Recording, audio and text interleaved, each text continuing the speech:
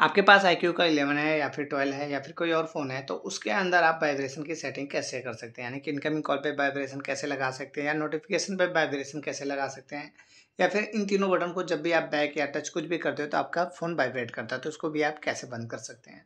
तो उसको करने के लिए सिंपली आप जाएँगे सेटिंग पे यहाँ पे आपको दिख जाता है साउंड एंड वाइब्रेशन का ऑप्शन इस पर आपको चले जाना है। तो नीचे की साइड जाना है, यहाँ पे आपको दिख जाता है फ़र्स्ट नंबर पे ही दिख रहा होगा वाइब्रेशन फॉर इनकमिंग कॉल इसको आपको जाना है। अगर इनकमिंग कॉल पे आपका वाइब्रेशन नहीं होता तो उस कंडीशन में इस पर आपको टैप कर लेना होता है।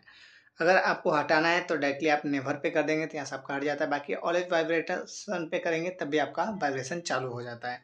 बट यहाँ पे आपको दिख जाता है vibration first then ringing gradually इसको आप जब करते हैं तो इससे क्या होता है, जब आपका स्टार्टिंग में कॉल आता है तो कुछ टाइम तक आपका वाइब्रेशन का लेवल कम होता है, यानी कि यहाँ पे होता है जैसे जैसे टाइम बीतता जाता है, जैसे, वैसे वैसे आपका वाइब्रेशन का लेवल बढ़ता जाता है।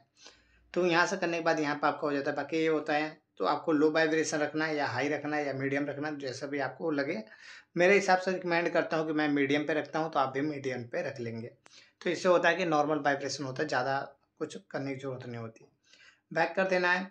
सेम वही सेटिंग है, यहाँ पे वाइब्रेशन का है तो वाइब्रेशन को आपको कैसा रखना है? तो यहाँ पे मैं वाइब्रेशन का हाई रखता हूँ, क्योंकि पब्लिक प्लेस में कभी टुंग से आता है नोटिफिकेशन का साउंड तुरंत चला जाता है। इस कंडीशन में वाइब्रेशन हाई रहेगा तो तुरंतली आपको पता चल जाएगा।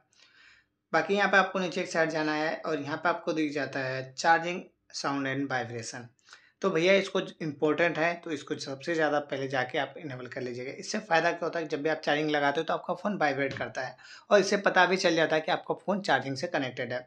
वरना इसको बंद कर देंगे, आपका फ़ोन लगाओगे तो चार्जिंग है या नहीं है, उसका पता नहीं चलता। तो इसको आप ऑन करके रखेंगे।